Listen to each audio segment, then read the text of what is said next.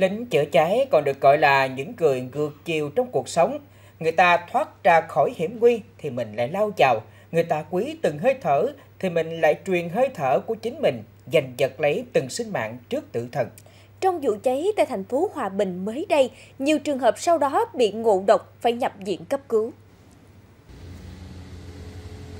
Vào trưa hôm qua, vụ cháy xảy ra tại nhà kho công ty trách nhiệm hữu hạn một thành viên Long Xuân.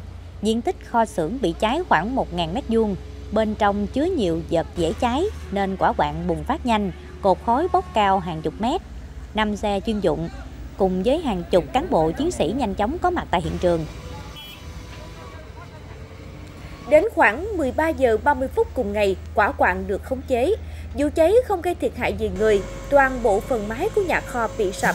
Đại diện Bệnh viện Đa khoa tỉnh Hòa Bình cho biết, đến sáng nay tiếp nhận 4 bệnh nhân là các chiến sĩ tham gia cứu hỏa. Những bệnh nhân này thấy khó thở, tức ngực, sau đó khó thở tăng lên.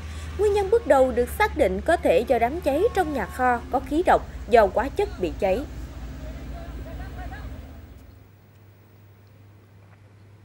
Thưa quý khán giả, cầu Cần Thơ được xem là điểm nóng của tình trạng đua xe trái phép.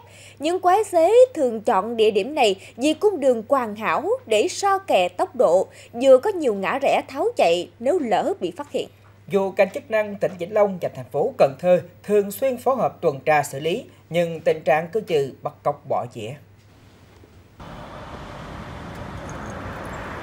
Trước đó, Công an thị xã Bình Minh, tỉnh Vĩnh Long nhận được tin báo có nhóm thanh thiếu niên tụ tập điều khiển xe, rú ga, nẹp bô gây mất an ninh trật tự dưới dạ cầu Cần Thơ thuộc xã Mỹ Hòa.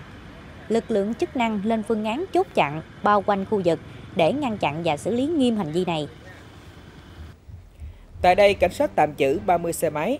Các phương tiện này hầu hết đều thay đổi kết cấu, bộ xe, màu sơn xe, không có gương chiếu hậu. Những quái xế từ 18 đến 25 tuổi ngụ tỉnh Vĩnh Long và thành phố Cần Thơ thừa nhận thường xuyên tụ tập tại khu vực này để trú ga, nẹt bô, sờ kè tốc độ.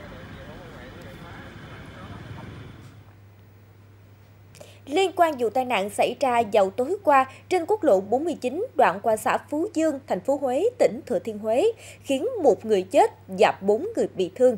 Hiện trường tan nát sau va chạm, đến giờ vẫn khiến nhiều người ám ảnh.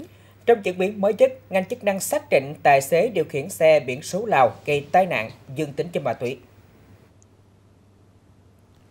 Thông tin ban đầu, 22 giờ tối qua, tài xế 28 tuổi, có tên viết tắt là Phạm Văn Quy, trú thành phố Quế, điều khiển ô tô biển kiểm soát Lào, có số hiệu 2462 đi trên quốc lộ 49, hướng biển Thuận an lên trung tâm thành phố Huế.